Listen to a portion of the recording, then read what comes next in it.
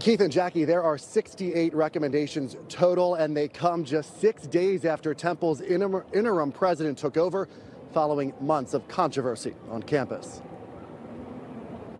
This report reaffirms what we already know that we have to work with our partners. Temple's interim president Joanne Epps says a nearly year long independent audit lays out dozens of recommendations to strengthen safety on and off the university's North Philadelphia campus. And City of Philadelphia is a big part of this. The university hired former Philadelphia Police Commissioner Charles Ramsey as Public Safety Solutions Company to examine crime, violence, and community engagement. I've identified nine recommendations that public safety has already begun or in the process of doing, some of which are completed. Vice President of Public Safety Dr. Jennifer Griffin says the university is already increasing and upgrading the campus camera system and is updating its hiring and recruitment policies. It's important to recognize that some of these recommendations will never end.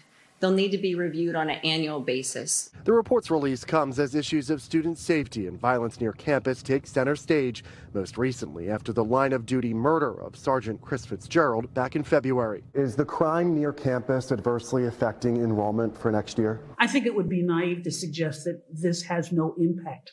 Um, we certainly know from the coverage of this that it's likely to be a factor, and and I can't know how much of a factor um, because the kids that are here do feel safe. Sophomore Brooke Shulsky takes the train to and from the suburbs on the weekends and says she doesn't always feel safe, especially at night. My walk back, I, I'm nervous kind of the whole walk. Of course, the farther off campus you get, it can get more frightening.